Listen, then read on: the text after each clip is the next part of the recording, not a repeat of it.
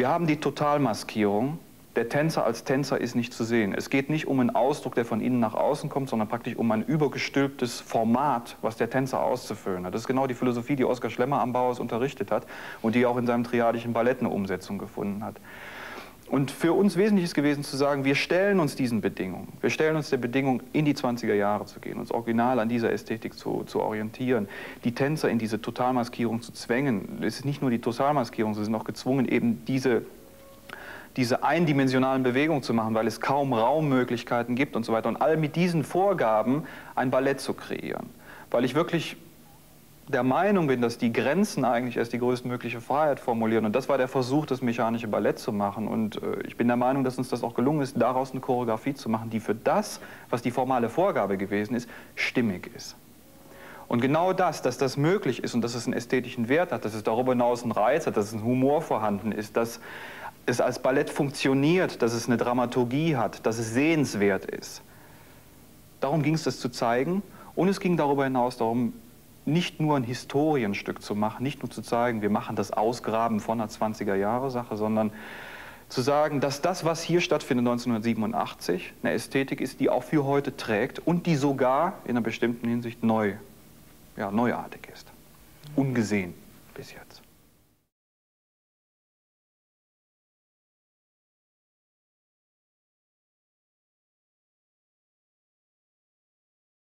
Und Sie wollten auch, dass es ein, ein Ballett ohne Story, ohne Geschichte ist. Ja, also. Warum?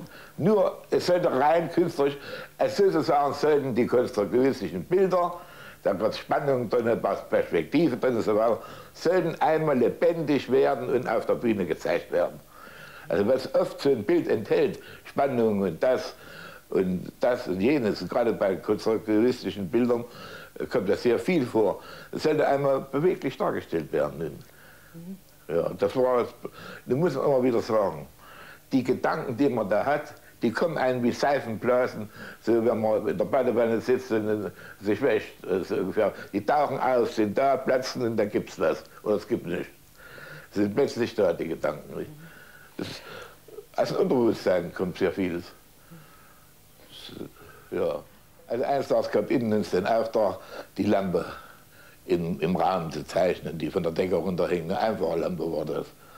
Und jeder gab sich die Mühe, also damit genau gemacht, die Lampe gezeichnet, fein möglichst. Und, und, und dann innen gekommen und machte, hm, als er dem hm, merkte man, ob er zufrieden war, hm, ah, hm, nee, nix, nix, nix, nix, nix.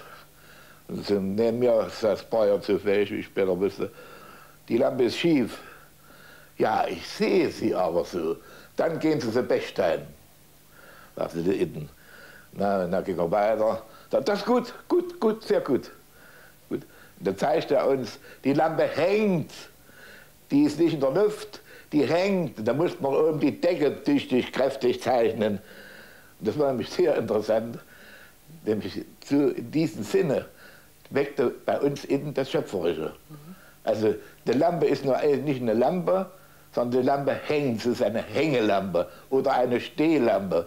Bei einer Stehlampe ist unten der Fuß wichtig, ist das wichtig, ist das wichtig. Also die Funktion war wichtig. Das ist nur ein kleines Beispiel, wie der indische Vorkursus, also das Schöpferische brachte. Nicht?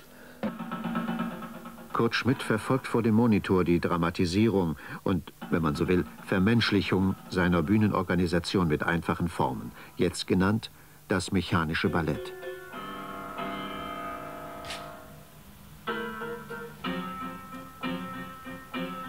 Was wir nicht hatten, was aber sehr gut war, war diese eine Zusammenstellung, diese ganz enge Zusammenstellung von, von den Figuren.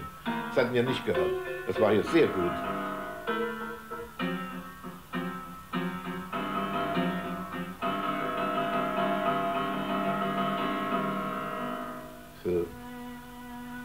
War das für Sie Vergangenheit, was Sie gesehen haben, oder ist das für Sie noch lebendig? Ach, das gräbt sich so ein, dass es heute noch lebendig ist, kann ich ruhig sagen. Ja. Ja, stimmt. Ich kann mir vorstellen, dass eine dritte Fassung unmöglich ist. Ja. Weil nämlich, ist so, bei diesem Ballett ist, sind die Kostüme bleibend. die müssen bleiben. Die Choreografie kann sich wandeln, die Musik kann sich wandeln. Sonst ist es umgekehrt, also da wandeln sich die Kostüme, da wandeln sich die Bühnendekoration, die Musik bleibt.